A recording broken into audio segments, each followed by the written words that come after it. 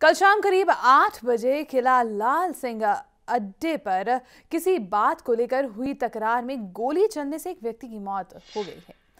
धर्मजोत सिंह गाँव भागेवाल ने रिवॉल्वर से 26 साल के मनदीप सिंह निवासी किला लाल सिंह पर छोटी सी तकरार होने पर गोली चला दी, जिसमें मनदीप की मौत हो गई और उसका चचेरा भाई परमजीत सिंह घायल हो गया घायल को बटाला में दाखिल करवाया गया जहां से उसे अमृतसर रेफर कर दिया गया वहीं आरोपी धर्मजोत गोली चलाकर मौके से फरार हो गया पुलिस ने शव को पोस्टमार्टम के लिए भेज दिया है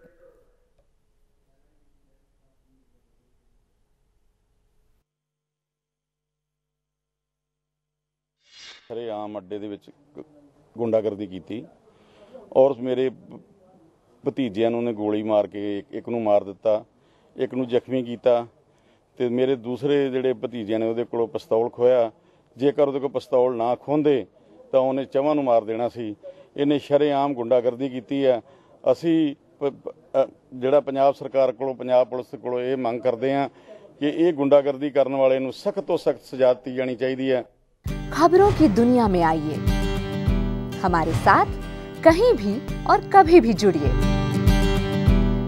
हम मिलेंगे फेसबुक पर। हम दिखेंगे यूट्यूब पर। हमें फॉलो कीजिए ट्विटर पर। खबरों के साथ बने रहिए। रात दिन।